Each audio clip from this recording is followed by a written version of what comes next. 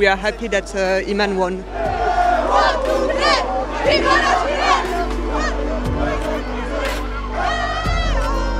What does she mean for you? She's really strong woman and really um, with all the insults she received, she stayed really strong and uh, the main goal was to win and she made it. So hopefully now she will win for the final.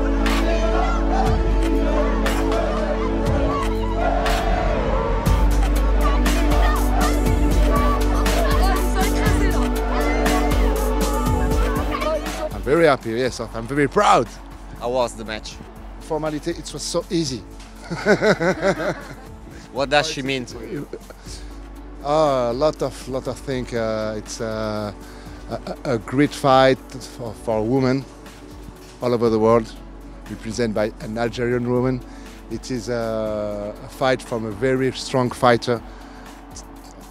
All things. This is the spirit of Olympic game.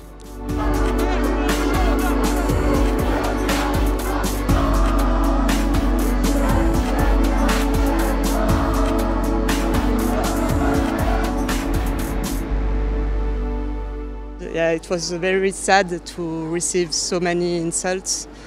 So, but the only answer is to, to win. So that's what she made, and that's great. Are you happy?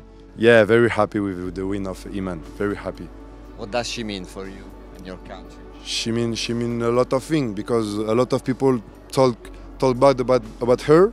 You know, we, we we heard a lot of things. She's a man or something like that, and I think it's disgusting. No, she's a woman, and she proved it. She proved he, if she was if she was a man, how uh, how they can uh, how uh, I can participate to the Olympics game. You know, they, they have many tests. So uh, all of all of people like that are racist, and uh, she she she going to to give uh, to the Algeria the Olympic gold, inshallah.